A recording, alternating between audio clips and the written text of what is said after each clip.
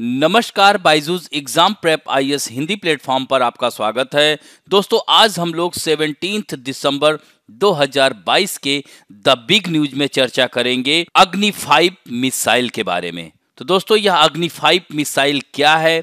इसकी क्या खासियत है? यह भारत के लिए क्यों अहम है? इसके बारे में हम लोग चर्चा करेंगे। दोस्तों, यहाँ पर आप देख सकते हैं इंडियन एक्सप्रेस में आया हुआ है और लगभग सभी समाचार पत्रों में। तो what is Agni five the long range nuclear capable missile that India has tested तो the successfully flight test of Agni five comes days after Chinese and Indian troops clashed at line of actual control in Tawang दोस्तों, आप लोगों ने देखा होगा, कुछ दिन पहले ही अरुणाचल प्रदेश के तवांग में भारत और चीन के बीच झड़प हुई। उसी के बीच भारत ने अपनी रक्षा पंक्ति को मज़बूत करते हुए अग्नि फाइव मिसाइल का सफल परीक्षण कर दिया है। तो Agni five can strike target at range 5000 to 5500 kilometre which puts major cities in China including the capital Beijing within its range यानी कह सकते हैं कि यह चीन के लिए बहुत ही खतरनाक सिद्ध हो सकती है। मिसाइल चीन के बीजिंग शहर तक इस मिसाइल का रेंज हो सकता है। तो यह चीन के लिए, यह चीन के लिए अब चिंता का विषय हो जाएगा। यानी भारत अपनी रक्षा पंक्ति को लगातार मज़बूत कर रहा है।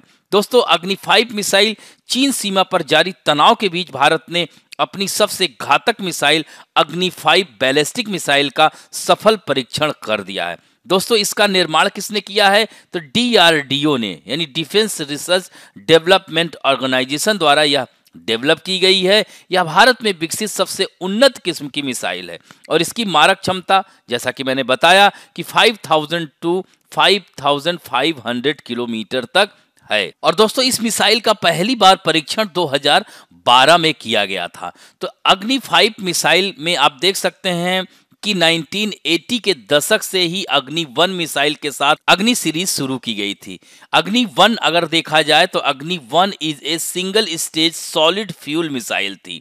इसकी जो रेंज थी 700 टू 900 किलोमीटर। इसी तरह से अग्नि टू देख सकते हैं। The Agni two is a M R B M with two solid fuel stages और दोस्तों, यह 2000 से 3000 किलोमीटर इसकी मारक क्षमता। इसी तरह से Agni third has two stages and it uses solid propellant in both stages और इसकी जो रेंज थी 3500 टू 5000 किलोमीटर।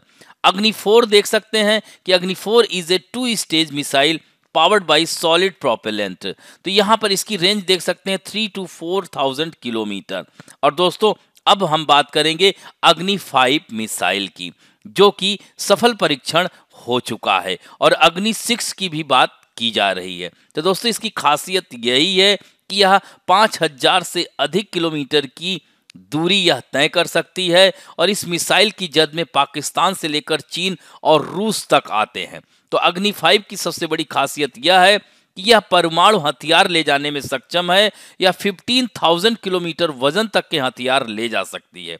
यह एक कैनेस्टराइज यानी डिब्बा बंद मिसाइल है। इसे सड़क और रेल दोनों से लॉन्च किया जा सकता है। इस मिसाइल को पनडुब्बी से भी लॉन्च किया जा सकता है। यहाँ पर आप देख सकते हैं sea based land based China में है sea and land based Russia में है seeking M I R V S Pakistan में और इंडिया में आप देख सकते हैं सी बेस और लैंड बेस दोनों है। तो यह इसकी खासियत है, यहाँ पर आप देख सकते हैं stages one two and third तो यह जो है, देख सकते हैं कि test fire from Abdul Kalam island Orissa दोस्तों, यह व्हीलर द्वीप है, इसी का नाम एपीजे अब्दुल कलाम रखा गया है।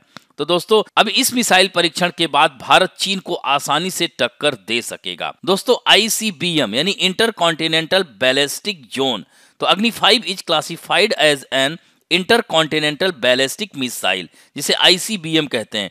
Having a range of 5500 kilometre or more the US Russia China France and Israel already possess such missile यानी इससे पहले रूस अमेरिका चीन फ्रांस और इसराइल जैसे देश ही यह इंटर कॉन्टिनेंटल बैलिस्टिक मिसाइल का प्रयोग कर रहे हैं। तो यह देख सकते हैं कि यह भारत अब अपनी रक्षा पंक्ति कितनी मज़बूत कर लिया है। यहाँ पर आप इसको देख सकते हैं, यह multiple independently targetable reentry vehicles है। यानी re entry vehicles carrying nuclear war warhead जिसे M I R V missile भी कहेंगे।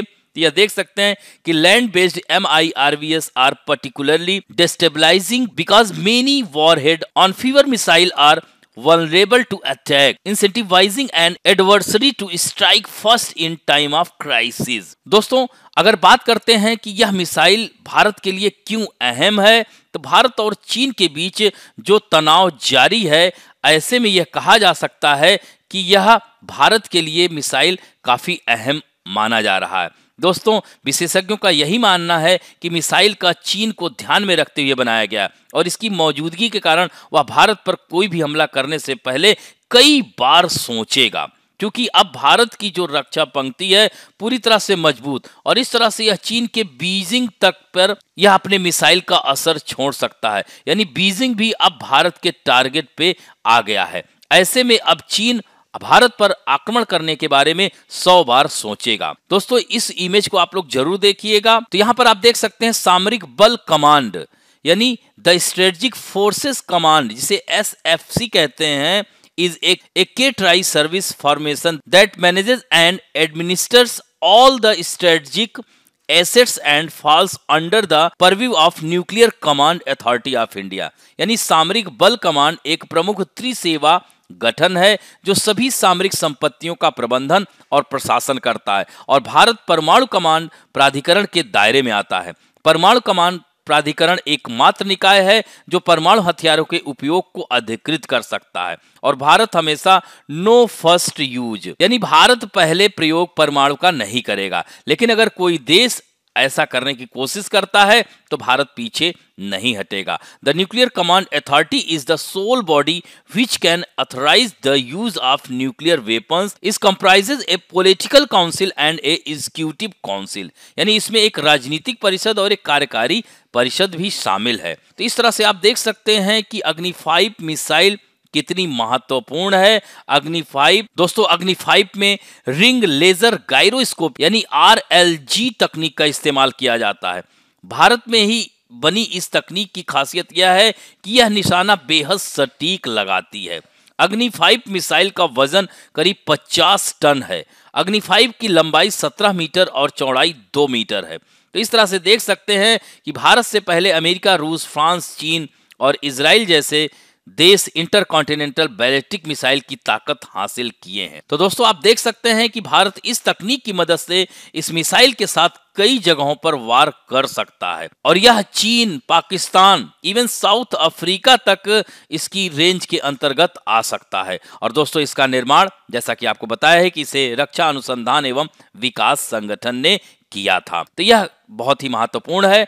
अब दोस्तों, आज के लिए आप लोगों के लिए प्रश्न है कि D R D O defence research development organisation क्या है? इसकी स्थापना कब हुई थी और इसका हेडक्वार्टर कहाँ है? तो इस तरह से आज का अंक यहीं समाप्त करते हैं। आशा करता हूँ कि आज का वीडियो आप लोगों को अच्छा लगेगा। यदि अच्छा लगे तो प्लीज़ लाइक शेयर सब्सक्राइब और बेल आइकन दबाना ना भूलें। धन्यवाद।